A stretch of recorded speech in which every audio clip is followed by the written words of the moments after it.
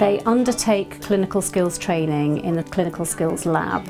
And alongside that, they have a sustainability skills session. So they, they're given a scenario that is um, linked to um, an it items that are used every day in clinical practice.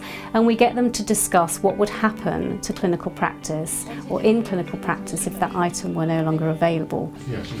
So the even single-use items, what, how often do you use one of these? A lot. Oh, it's But in a day? In a day. Oh. In a day, how many might you use in a day? I have no idea. Some some days you might not use any. To be fair, you know, it's it's not. in the hospital they're using them every day all yeah. the time. And what's really interesting is that the number of them who actually don't make the connection between plastic and oil. So that's that's the first thing that we that we notice is that once they then make the connection between oil and plastic and the fact that they're using items a lot in everyday practice that are made from plastic and that oil may no longer be available to make these things, there's a bit of a light bulb moment and, and they really get it. We'll move that down to the bottom. Okay, so this is our impact scale. Okay. So we've got high impact and low impact on patient care and service delivery. If you didn't have plastic to make this oxygen mask from, what impact would that have on patient care? Quite high. Let's put it right. Where would you, where would you put it? Right, right there. What would you do if you didn't have the plastic? You wouldn't be able I've to never deliver thought about oxygen. it. I just use it and I don't Never think. thought about No, no. Just- That's it. We use these things all the time. We don't really. I don't think there's anything we can substitute it for either. What do you think they used to use before plastic? awareness with staff so that they're not being flamboyant with the mm-hmm. use of We colour. can't have a Moulded something. Any of you watch Call the Midwife? No. Start watching it, and then you find out what they could use, what you could use.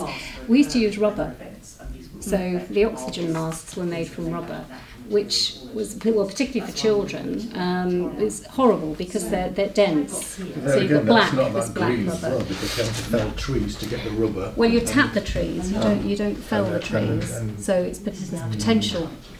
One of the challenges of making sustainability relevant to nursing is um, making sure that they can understand how it's relevant to their practice. So what we've done, based on the research that we carried out in Cornwall in the NHS, is we've developed scenarios around potential interruption to supply for key items that are used in everyday clinical practice. And looking at those items that are used and the potential for um, having an impact on patient care if those items were no longer available. Do you, do you put them on with every patient? Yeah. Yeah. The official line is you have to wear. Yeah. That that's part of your PPE. That's the official line. It might. We've got to wear them with every patient. Do you need to wear them? Well, you No. could argue only You invasive don't. procedures on State Who it's like tells you? Who is it that's actually saying that you, you must wear gloves? No, but tell us it's appropriate, and I'm sure that I, I'm sure it's not. You don't have to for BP. I'm certain you don't. Positive. These are coming out as degree students. See, they will come out with a degree, and we expect them to be questioning, and we encourage them to question, not to not to do it in any aggressive way or anything, but just just to question. And as students, that's how they're going to learn. She's just a nice little elderly lady that's fallen over. She just needs a hand into her chair. You don't really want gloves because it, and not just that, it catches on their skin and can, you know. So just a nice hand touch, nice warm hand, just to help her up and hold her hand while she, while you settle her down, take her blood pressure and all that. It's not, it's not needed. I don't. What we do when they come in initially is we give them a questionnaire asking about their attitudes towards sustainability. So they fill the questionnaire in first and then they engage in the session and then we evaluate the session at, at the end and we, we just get amazing results. So to begin with, um, what they're saying is that you know perhaps it's not that important. Then after the session, they see it as, as very important. So what we've demonstrated is that well two things really. Their attitudes towards sustainability and health um, change significantly. So they they essentially become more convinced that it's important in healthcare and that it's important in the nursing curriculum. But we also test knowledge around the uh, the cost of disposing of clinical waste compared with domestic waste because clinical waste is much more expensive and a lot of the time the wrong thing goes in the clinical waste bag. It's £5.18 for a 5 kg bag of clinical waste, and it's £1.92 for domestic waste. And again, that's that's a, there's a light bulb moment when they realise that all those newspapers that go in the clinical waste bag are costing a lot of money, but also it's it's costing in terms of carbon emissions to incinerate that clinical waste. So it's really opened my mind a lot, and actually, um, it's given me a great idea for a research project that I want to do. Yeah, it's definitely made me question how we do things and how I work. And I, it, it has been very useful, and, it, and like I say, it's made me see that I think I'm very wasteful, to be honest. And it's just, this packaging is quite difficult when you open it, so you just want to take care when you're doing it. Sustainability requires a multidisciplinary approach. So we recognise that by talking to student nurses about the potential interruption to supply for key items used in the NHS, that they're not going to be able to solve the, solve the problem themselves. They are part of the solution, but we need other disciplines. So we decided to bring design students into the clinical skills sessions and they observe the student nurses carrying out uh, their clinical procedures, they ask them questions and um, they look at the extent to which they can come up with uh, sustainable design solutions. Wound, yeah, and then using this hand.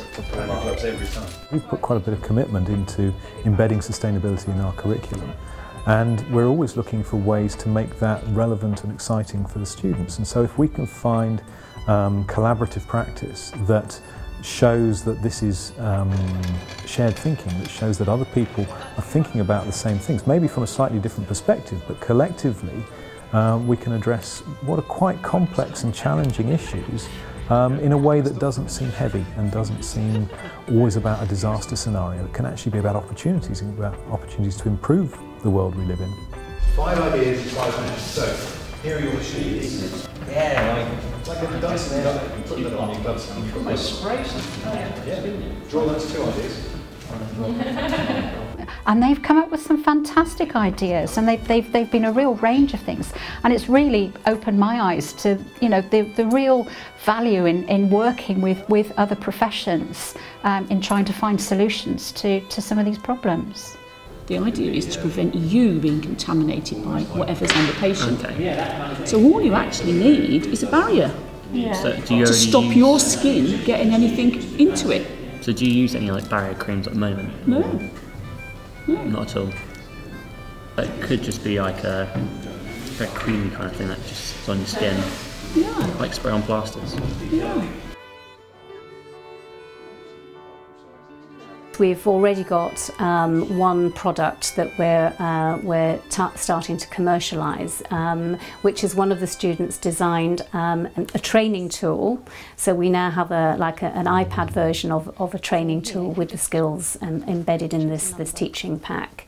Um, we have another uh, two prototype designs that we're starting to develop um, to market uh, to commercialisation that, that the students last year developed. And I think by actually getting our students involved at an early stage, they're going to be our, you know, staff for the future. They are our, our healthcare professionals of the future. And if we can instill in them these sorts of um, considerations, these, these values and so on, um, and getting them just thinking about some of the issues to do with sustainability early, that, that you know they can start to have an impact in their own practice as students. But once they qualify, they can take that on into their practice in the future as well. In comes Simon Cowell and Simon Cowell's sidekick. so this has been a really good experience and it's just great to see how um, from thinking of, of uh, you know sustainability and climate change we know it's important for health but it's a case of you know how can we embed that in the curriculum and we really think that we've got a, a really good way to do that now because we can make it really relevant to, to clinical skills and clinical practice. The idea is um, spray on gloves. Spray on, spray on gloves. Especially if you're working with children, if you go up to the children and say, oh, I'm going to do some work with you today, what colour gloves would you like me to wear? and they can come up like their own little things, they're like, I want blue fingers or red hands. Brilliant.